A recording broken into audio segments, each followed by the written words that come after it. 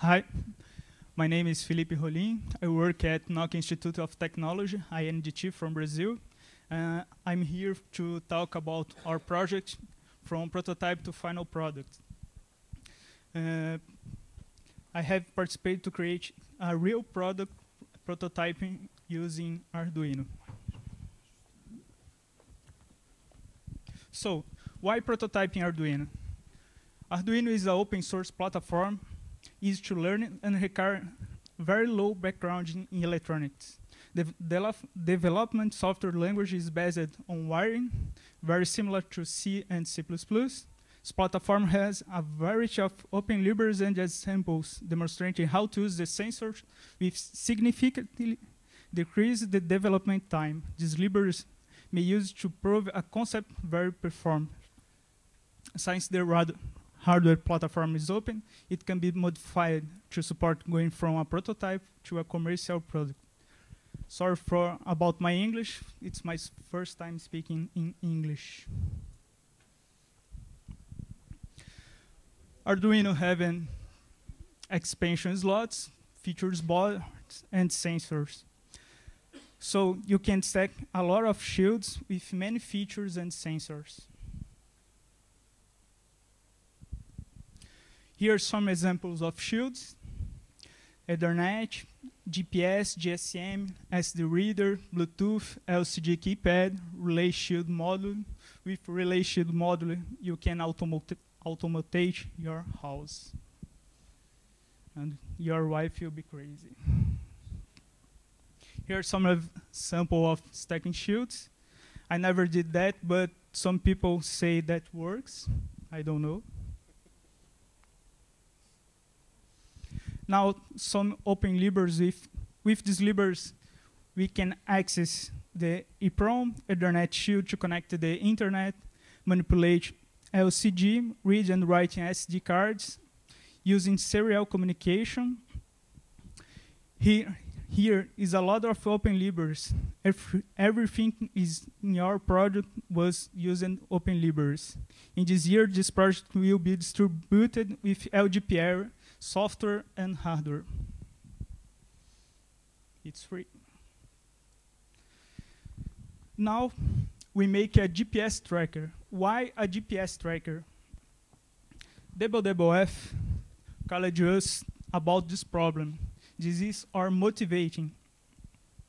Every, every year, many animals and humans being injured and killed due to human-animal conflicts. Main cause for the conflicts is the increasing loss of space available for the animals. Tracking devices may be used as tool to support this issue. Tracking device may provide more accurate information on animals' behavior and also by allowing the emission of alerts when animals approach human settlements.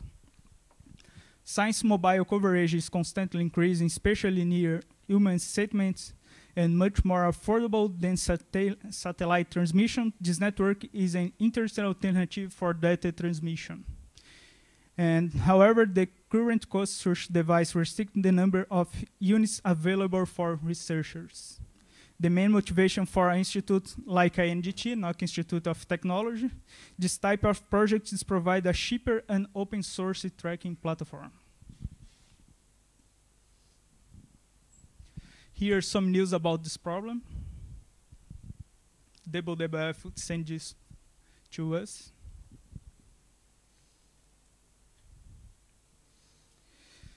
We investigated the similar products available in the market. Here, we investigated three products. The cheapest model here have some drawbacks, such as having a personal in the field tracking device subject the weather conditions and animal attacks. Many times the elephants kill people tracking them. Models with GPS, the last, and cellular satellite communication are usually very expensive, five and ten thousand dollars. We propose a solution Science mobile coverage is constantly increasing, especially near human settlements. and much more affordable than satellite transmi transmission, this networking is an interesting alternative for data transmission.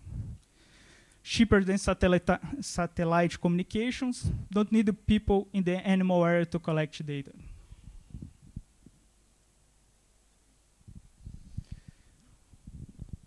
We evaluated some alternatives, creating our new hardware using a cell phone low end or a smartphone. The battery consumption is one of the main restrictions for tracking devices. Simplicity is also a main driver for the type of application, since the device will be unattended for a long time. We need this device in the wild for two years. Why we chose Arduino? Open source hardware platform, widely available open source libraries, easy to customize, firmware created for prototype can be easily evolved chosen on the final product.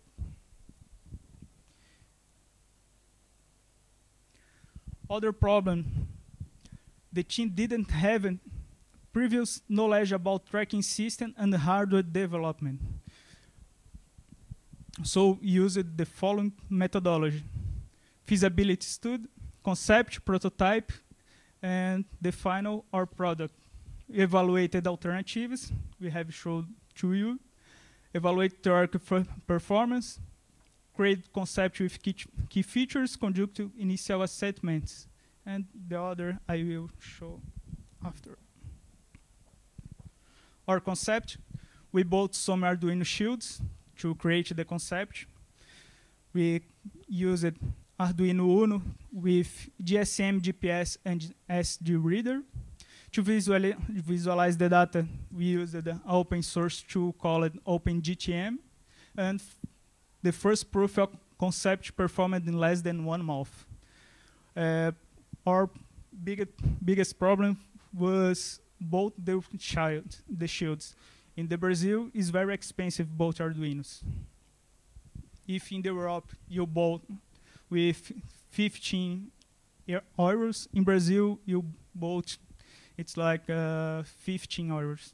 It's very expensive. With the concept, we uh, we validate the main features, which was possible to estimate the power consumption, removing unnecessary components such as voltage regulators, LODs, USB interface, etc. It was possible to validate the concept with project sponsors, WWF, as well as define the final specification.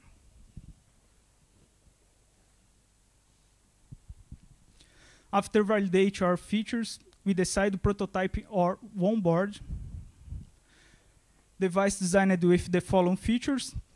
These features is to increase the battery in the wild, wake up every hour and check its schedule. Device in sleep state during the remain time. Alternatives evaluate to send and receive data SMS was chosen due to the greater coverage and lower power consumption. GPR, GPRS were chosen because there is no way to guarantee the SMS would be receiving the short awake period.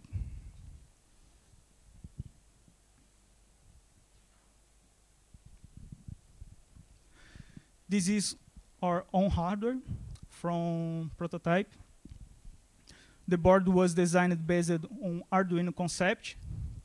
Here, our own board, and here, uh, GSM board, communicating with our own board. Remove unnecessary components, addition of components to turn off GSM and GPS while in standby mode to economy of battery, GSM shield maintained by time constraint and components availability. I talked to, to you, in Brazil it's very difficult to buy this shield. Here, the prototype results. Device programmed to collect GPS data and send coordinates by SMS, tracking paths simulating real animal routes, collect data uh, on the server compared with real data storage in the device. We store the GPS data with uh, SD reader, SD card, sorry. Uh, we did these tests in the Nepal with DoubleDoubleF. Prototype results with our first onboard. GPS coordinates success rate above 18%. GPS fixed failed under dense canopy. SMS success rate lower than 15% size. SMS were sent even with low signal strength. After this test, we changed the send SMS only with medium signal strength. Here, our final product. Uh, we removed the GSM shield and put the GSM chipset in our onboard. GSM, GPS, as the, the reader, uh, all in the same board. It's the same components from Arduino board. It's the same chipset. GSM SMS components substituted by others with improved performance. GSM antenna substituted by an internal model, improved grounding for better GSM performance. Two accelerator boards developed to enable access to SIM card and memory cards. It's the uh, the second board here. HDOP and RSSI evaluated before registering and sending. HDOP is uh, horizontal precision from GPS.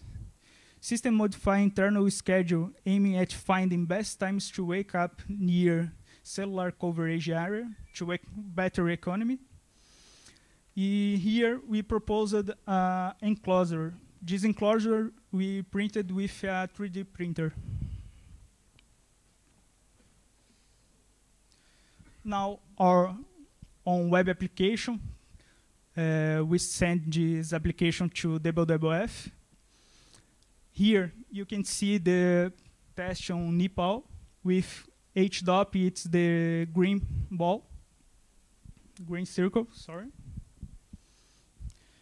Uh, with this web application, when the animal is near the human area, the system sends to people's near uh, an alert about the animals.